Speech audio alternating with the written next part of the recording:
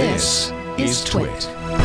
What do we know about Apple's glasses? Their ambition, we've heard rumors in the past that they might have a VR headset this year, but the true AR glasses next year. Kelly, what what do you think? What's what's going on? Uh, I well, I don't know any.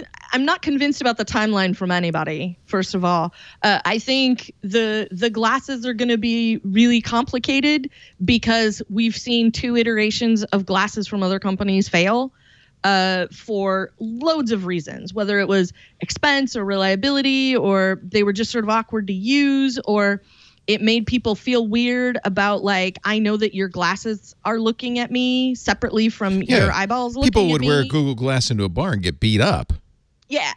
so I think until they can get over That was them. like that, you know, that piece of it, I, I don't I don't know what it is that Apple's going to bring to this that's going to make it any more appealing to the same people who went, well, you know, uh, like the Snapchat glasses are are very weird looking and they're all bright yellow and like nobody wants to nobody wants to wear them and the Google Glass ones were like, you know, super obvious, you know, looking like Google Glass and not just sort of regular glasses from people and how they're going to get around that like I don't want your glasses recording me you know, if I don't know about it already or whatever. I have no Um, idea what you're talking about. I think uh, these You look com- awesome. these look completely I normal. thought, I th- is, is that Leon Redbone that's taking over the host of the show? I approve. Let me get my banjo. But my ukulele's in the other room. So, but Um, that's Kelly. Isn't that exactly what Apple's so good at? Is taking a product. Think about the iPod. It was pre, it was preceded by a lot of kind of not so It was great no MP3 Nomad. players. Yeah, right. the there's the Diamond Rio, I mean- the uh, the Lame. Sansa, the uh, there that was that car head unit that was like had a hard Yep. drive in it. Uh, that's exactly those. what the, the product category Apple likes to be in, right? Are those yes, and you're wearing, the Leo? thing is, like, I'm not Yes. sure how they're gonna. I'm not sure how they're gonna crack it. Is the thing. Like, I have no doubt that they could. If anybody could, it's gonna be Apple. It wasn't Snapchat. I don't think it was Google. So Definitely I wasn't think Google. That they Yeah. could. How about Uh, Oculus? How about Facebook with the Oculus? Uh, well, I mean, you- privacy you can't really wear right that now. to a bar, Yeah. can you? No, that's but that's what the rumor is. That, by the way, did you call these my snapticles? yeah, with the, with, Okay. They're the snap uh, spectacles, right? Yeah, but I think I never Or heard them called the snapticles. But I think that might actually be a good name. For. This is not the this is the first generation. This is not the current generation. Are you snapping us right? Did you just snap Andy? I'm Are snapping you you. snapping us right now. Right now, I'm snapping Ah. you. Yeah. So these are the opposite of I think what Apple is. The rumors are Apple would do. These are all about cameras, and the rumor is Apple's won't have a camera at all. Right, Kelly? Isn't that right? LiDAR. that's that's what I've seen, and like that may that takes the whole uh, awkwardness of wearing them like away from the people around you. Like, remember having people around you? Um, Yeah, right Like, now it takes- I don't need uh, I don't need augmented reality glasses. I know where my sofa is in my living room. I don't. right, and like I think if there's no camera, I think that helps solve a lot of the problem that people who didn't wear them had with people who did. That's right. I agree. So But I, it also takes away a lot of- to see where that goes. It also takes away a lot of functionality, right?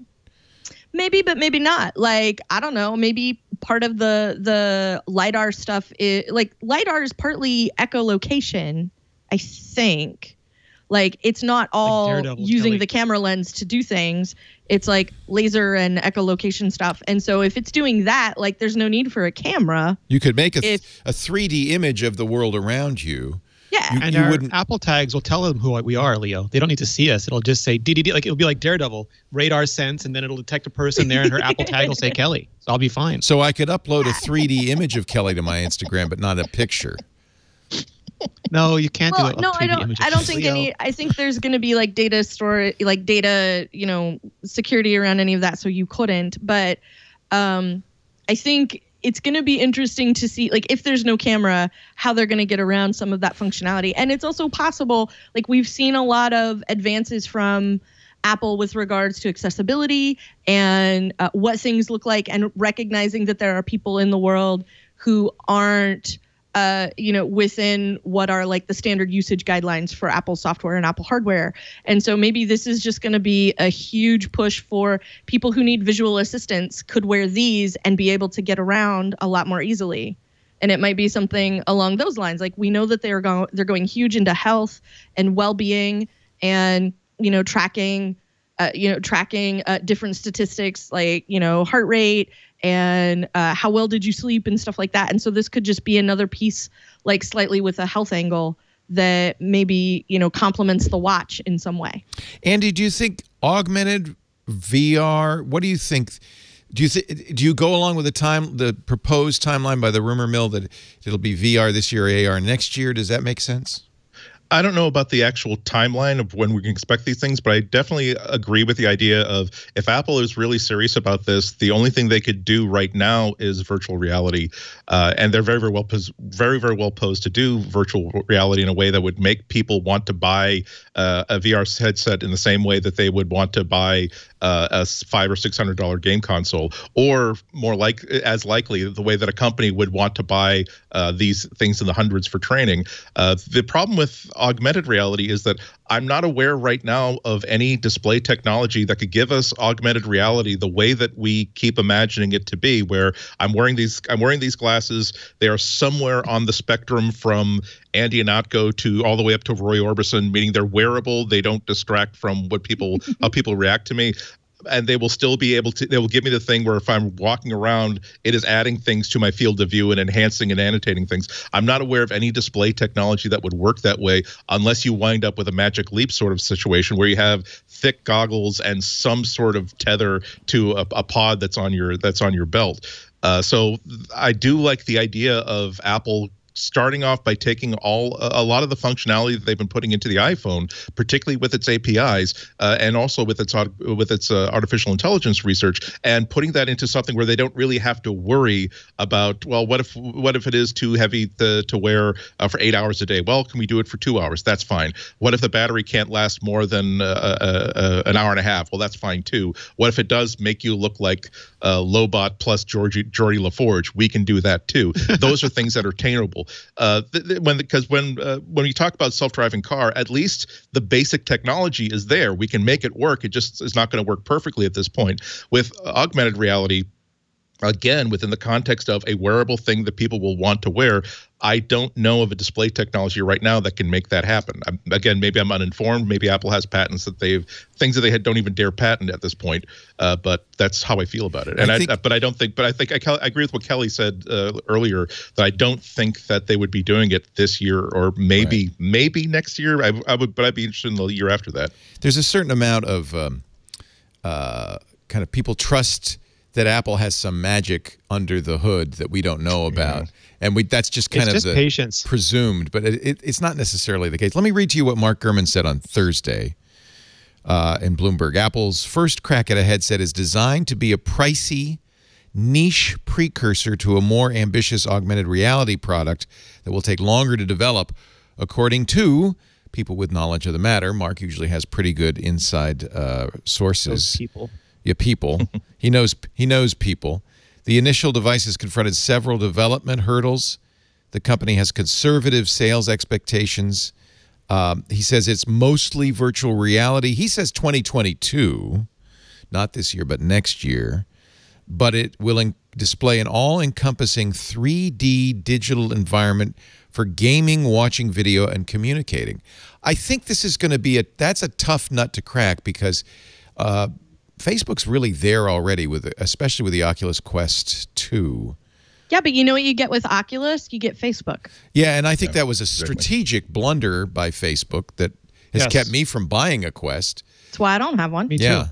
Uh, that is kind of that is really a self-inflicted wound. I don't I don't really get what Facebook's I had the Quest that. One. I was all ready to buy the Quest yeah. Two, and then they started. They every time they say we swear we're never going to conflate Facebook IDs with the company we just bought, and yep. every time they do it. So I can only blame myself at this point and vote with my wallet. And I said no. you know, I think they're starting yeah. to realize it because there is there seems to be a mass exodus from WhatsApp for that very reason. Oh, yeah. And they reacted fast. They always say we never react quickly. We always wait. They reacted so fast to WhatsApp. Yeah, they they put mm-hmm. off the that privacy change that would merge WhatsApp's information with because Facebook. We misunderstood. We were confused about what they you were saying. Know it wasn't what them. we were doing. Yeah, you weren't. You didn't understand. We're going to wait till April to confirm that. And what they'll do is wait till the news cycle moves on, and then they're yes. going to go. but it's interesting because Facebook has oh you know there's been a lot of delete Facebook movements, uh, several of which I've participated in, uh, but there's never that's never hurt that's never wounded Facebook in any appreciable way. I have to think maybe you know 20 million people leaving WhatsApp is not insignificant, and I think that's the yeah ballpark figure. Uh, Telegram says thank you. Yeah, tele, uh, so Signal we th we th have, have heard had something like 10 million new uh, subscribers, but yeah. they they're hoping to get to 100 million, and and they're much farther yeah. along than they were because of WhatsApp. We don't know how many new users Telegram has, but I would guess it's quite a few. I'm starting to hear from uh, non-tech people saying mm -hmm. I'm because I've been on Telegram for years saying I'm going to use I heard Telegram. Rumors now. it's a stupefying number of new users, like yeah. a, a, rid mm. a, ridiculous beyond any expectation number. Give of or new take. Users. Well, and and so that's not happened before to Facebook. So yeah, that's got to sting a little bit. So in any event, that, to get back to this uh, this AR thing, I mean, obviously Apple is going to require an Apple account with, with, their VR, but it's not that's not as punishing as a Facebook account. The interesting, the really interesting part of this though is that it ties into the rumors of the new Apple TV that they've been holding back on for a little while now. Oh, that's where there was that? like a conservative model that was just an A12 uh, X processor, but a more ambitious model that was going to be higher end gaming, and that Apple might even start investing in studios beyond Apple Arcade oh. to make it really a first-rate gaming so experience. Are you saying the TV, like TV, would be a base a base unit for the the headset? The service would be cross-device, and the device, the the, yeah. the helmet would be like the premier way of experiencing it. And you could also play on your TV and your iPhone and your iPad, of course. Pretty much guarantee Apple will not like call Fitness it a helmet. Plus on the head. yeah. like, like they'll, they'll somehow make helmet. a deal with Disney, and they'll call it the Lobot right? Because it'll go around the back of your head with all the batteries and stuff. So you can. The original the Apple TV was called the Lobot. Oh, really? History there. Oh, I didn't know. I know. Yeah. Oh, that's because cool. it was a lobotomized Mac. That's why I went there. Really? Um, well, see, you guys are way ahead of me. You got well, that inside. Like, uh, yeah. Are you twins? Uh, are you doing twin talk now? We travel no, in that was just circles. a bonus. It's also a bonus Star Wars reference. Hi. So, um, the the other piece of it though, I think, is that uh, like we keep talking about the Apple TV, like someday we're gonna get a new one, like someday you know apple keeps sort of trying to be a little bit at least partly a gaming company and we're not getting enough out of them for the most part to really feel like they're taking that completely seriously. So uh like having the gaming the gaming part be a serious component in why the apple tv hasn't the new iteration of the apple tv hasn't been released yet makes a lot of sense. So i hope that that's true and that we do get something great in gaming from Apple TV because I think there are a lot of people like me who don't want to uh, put the money down on like a PlayStation or an Xbox. Like I'm not a hundreds and hundreds of dollars to pay for it gamer. I'm like a I'll pay five bucks a month to Apple Gamer, right? And maybe buy a hundred dollar box and not a five hundred dollar box. So but Gurman, there are Gurman a lot of people sa- who would do that. Gurman says that this first headset will be more expensive than those from rivals. And of course, the Quest 2 starts yeah. at what, 250, 300? They'll be the AirPods Max of, of VR headsets. yeah. Uh, app, some Apple insiders, I'm quoting again Mark Gurman, believe the company may sell only one headset per day per retail store. So that's not that's yeah. that's nothing to that, that's that's not home. that's not very that's not very Apple. That's that's one yeah. of the things it's that got really me thinking. Not. Yeah, I don't know. I don't know if, they, if they, they would do it that way. way. the technology when, out. It's super expensive. they want to make sure that that's, that's less than Geordi a hobby. Ritchie, everybody. That what yeah. are you doing? Either Cyclops or oh, Geordi La He's wearing. Oh, I get it. Those are the uh, AirPods Pro Max, and you're looking through the Which headband. Are more expensive than yeah. I think an Oculus Quest. Yeah. Why don't these are just go on your ears? Hey, wait a minute. Let's conflate two big rumors. We talked about it last week. The rumor that you'll be able to replace the headband. What if you could replace the headband with Geordi Forge glasses with a visor that drops down when necessary? Yeah, a ruby visor. Oh, there it is. Now, yeah. the, the clamping force on your head is going to be kind of intense, but I'm there are a lot of Apple fans who will go for that. It'll keep your uh, head smaller, Andy. I need that. Yeah, keep you from getting a swelled head from being an Apple I mean, user, if which it- would be an if off, impossibility. your, but your ears are holding it wrong. yes, Well, can you just imagine One- doing Fitness thing- Plus and having your rings close in 3D on your visor as you just keep, you know, trucking along? I feel They'll like find- they'll Fitness find more Plus in metrics. the helmet would be terrifying. one one, th- one thing that I wanted that I wanted to to, to bring in though uh, the you think about Apple doing a VR headset and a headset that creates virtual reality experiences. That's very very prudent. That's very, very good. One thing with Apple, though, is that you wonder if they're going to also they're also working on a piece of hardware for generating that kind of VR environment, not just software, not just APIs, but what if they are working on a VR camera, so that not necessarily not a not a 3D iPhone, iPhone camera, but something that will allow producers and then consumers to capture uh, augmented reality experiences and deliver them, even if they were just as simply, even if they were to start really, really uh, small and say, and when they're uh, create a, a road kit that they could bring to events, that they could bring to concerts, that they could bring to speeches and things like that, and capture that sort of stuff, so that they can create a new channel on Apple VR Plus, so to speak. Uh, it's there's a lot that Apple Apple has the firepower to, to accomplish whatever they want to do, and this is why we can spend an hour talking non BS wise about uh, possibilities of unannounced products. Wait, wait, wait. So Andy, the thing that you just said gave me an idea. Um, what if part of the the lidar 3D like mapping of what these can of what like the goggles or the you know the Lobot that we are talking about, like the the the technology that makes that possible, like in a real space to know not to walk into a wall or walk down the stairs or whatever. Um, like that's the same technology you would need in an automobile. So if they're making this for the helmet, like you could scale that up to an auto and then like it's the same principle of like keep you from crashing into stuff, keep you from harm, you know, by walking off the edge of something, walking into a wall, whatever. Mm-hmm. Like you would need all of those same things if you were designing something that required the ability to navigate without assistance. Yeah. Like you would I- I- need I- this you would need the same thing. So I wonder if maybe there's some overlap between our first story and our second story. I, I certainly think that Apple is Apple. Uh, they're never been a they Apple's never been a company of individual divisions that are sort of like sub companies making their own independent products. They are all building. The, every person no who works Apple at Apple silo. on every project, they, exactly. They all work. So I I believe that Apple believes its research money is best put into creating things that they can put into as many of products as possible. So maybe I maybe I, I have a hard time imagining a one-to-one mapping of car technology being used for uh, personal uh, collision avoidance, but nonetheless, the pro- the the sort of breakthroughs you need in uh, image processing, the the sort of uh, AI models that you would need to build with with a much more complicated rig that you could then compress down and put the model Right. itself into a more uh, portable thing. That's absolutely spot on as far as I'm concerned.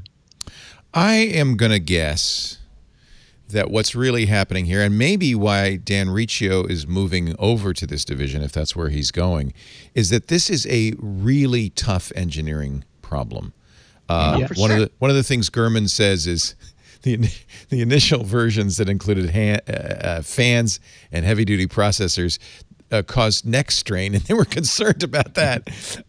Uh, if if you have a, a headset, you can't lift. Well, there your was a lawsuit. Remember, there was in the court documents. There was a lawsuit of some a tester who got injured. Yeah. uh, who did get injured in the neck testing So one of the I'm going to guess. We know Apple throws a lot of spaghetti against the wall. Not all of it sticks. A lot of it probably doesn't stick. And I'm going to guess this is not yet a releasable product.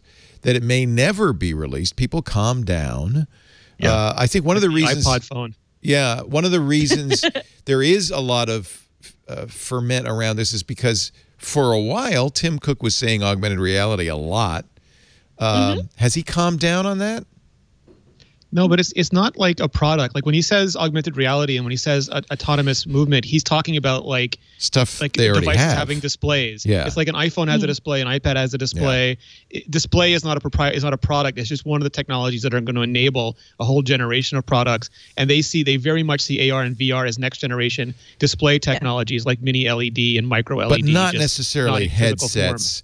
Uh, and and I think so. Any, but it's it's you know we're in that same cycle we were with the Apple Television set. uh, where we spent hours speculating on something mm-hmm. that never was going to be released. And I they built at least two prototypes, so I'm guessing Jony Ive uses them every Super Bowl. Every Super Bowl. if you can get an invite to Jony's house for the Super Bowl. Or, They're 720p, 60 hertz, but still, the case on that, the bezels are beautiful. Just, it's beautiful. There's there's there's virtually no bezel. There's no the end, bezels, right? and you they're, can they're lick inverse it. bezels. Well, the screen is bigger than the casing.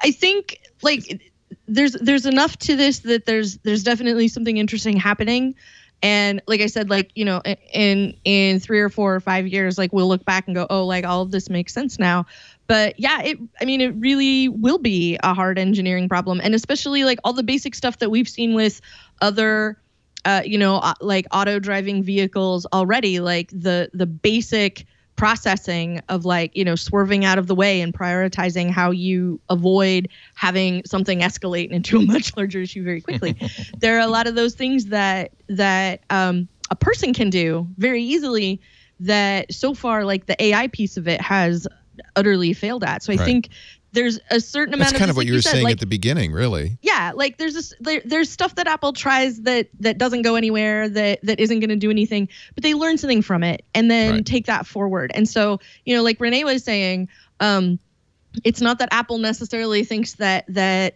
AR itself is the way, but they think that, you know, democratizing AR, turning it into something lots of people can use, lots of super creative people with lots of ideas for how AR could be useful in a particular way or fun in a particular way. Like that's why we keep seeing it like at WWDC every year when they talk about the improvements that have been made and, you know, now you can play with pretend Lego on your desk uh, just by pointing your iPhone at it or whatever. Like that's where those things are coming from is they're democratizing all of that so that somebody has a really good idea and can turn that into something great. It's the same thing we saw with the iPad. It's the same thing we saw with the iPhone.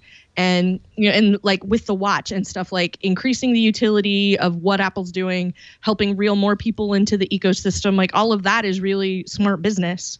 So I'm not surprised in the least they're trying all kinds of stuff to get at it. And I think whatever we get from them is going to be really interesting, even if it's not something that I personally want to take into my life immediately. I'm definitely going to be interested in what it is and how it's going to kick the door open for other people. Well, but I again, it also may be nothing that ever is released. That oh yeah, it yeah. could be. It could go on the shelf. You may never get it any more than you got an Air. yeah, any more than you got an Apple television set or a 5G MacBook Air. Everyone just, is going to do the CSI Miami video for it. They're going to put it on and go yeah, and then they're going to do their video. right. And I'm just going to want to turn the TV off. Yeah. yeah. So just just a re, a reasonable caution. Uh, any company like Apple, especially Apple, because they have a big R and D budget now and they have a lot of money to spend, is going to be looking for what's next and yep. it doesn't necessarily mean any of that emerges from the lab. A thousand no's for every yes means you got to make right. a thousand also, products to right. say no to. Also, yeah, also remember that yes. when when also remember that when Apple released the iPhone, everybody knew that they were working. They were probably imminently going to be releasing an iPhone. Uh, everybody was 99% sure was going to happen during the keynote they delivered it by. I don't think anybody correctly predicted the shape and the form of the right. phone that they were going no. to release. So there's there's so many variables here. That's this is this is where it's I I make I'm not usually like someone who enjoys rumors because my my point of view is that look you're making a rumor about what's going to something we're actually going to be having in our hands in eight months. Even Apple doesn't know exactly what features the next phone is going to have. Why I don't I, it's it's kind of a waste of time for as far as I'm concerned. But this sort of stuff is really really fun because the possibilities for the company like Apple are very very great. They're not they're not like the things that you get you see at CES where it's like oh great so you have a phone with a rolling screen. I'm I'm going to count the days until that becomes an actual shipping working product because I'm sure you wouldn't show it off just to get press during CES. Apple works very hard to make sure they don't get any press before the the magical day. So that's it's going to be fun.